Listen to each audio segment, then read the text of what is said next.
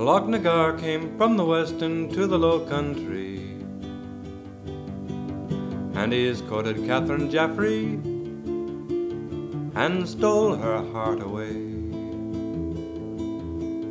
Home did come when Amos Dale came from the north country, and he has gained her father's heart and her mother's too. A bridal date then was set, and the bridal day came on. And who appeared among the guests but Lochnagar himself? A glass was filled with good red wine, well drunk between them twa. Said he, I'll drink with you, bridegroom, and then bound me a while.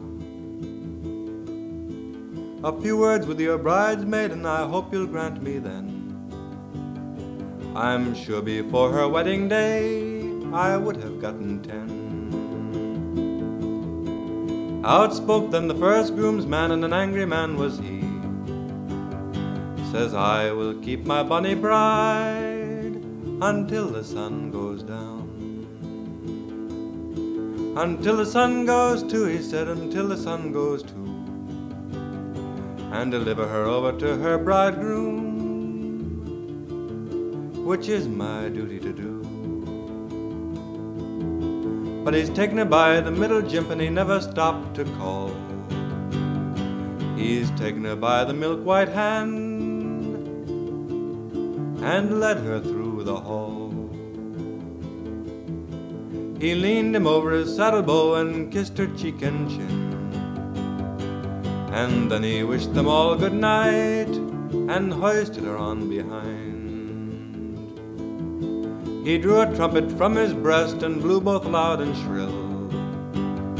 A hundred of well armed men came Lochnagar until. A hundred of well armed men with milk white steeds and grey. A hundred of well armed men upon his wedding day. Horsemen rode and bridesmen ran and ladies in full speed.